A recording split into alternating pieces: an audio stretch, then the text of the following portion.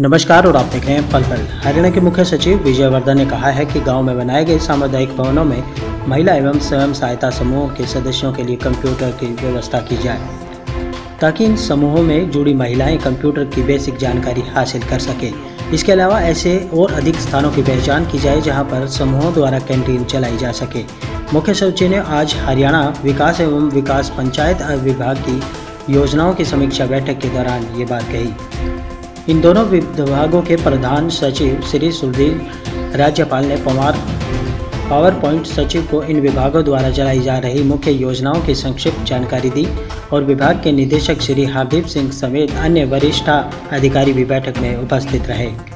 इस दौरान मुख्य सचिव ने अवगत करवाया कि महात्मा गांधी राष्ट्रीय ग्रामीण रोज़गार गारंटी योजना मनरेगा के तहत सितंबर 2020 तक तिरानवे लाख मानव दिवस हासिल किए गए।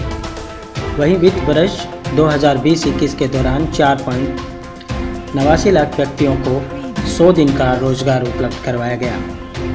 इस स्कीम के तहत व्यक्तिगत श्रेणी के अंतर्गत 2021-20 के दौरान चालीस हज़ार पशु शेड बनाने का लक्ष्य रखा गया है और इसी के तहत सामुदायिक श्रेणी के तहत प्रत्येक ज़िले में 100 एकड़ की पंचायती भूमि पर बागवानी, पौधारोपण तथा हर ज़िले में 200 परंपरागत तालाबों को जोड़ा चौड़ा करने के लिए व्यवस्था की जाएगी। महिला स्वयं सहायता समूहों के लिए दो लाख रुपए प्रति शेड की दर से प्रत्येक ब्लॉक में पाँच शेड बनाने का तथा लगभग 500 करोड़ रुपए के संबंधित विभागों को लेबर कन्वेंशन का लक्ष्य रखा है।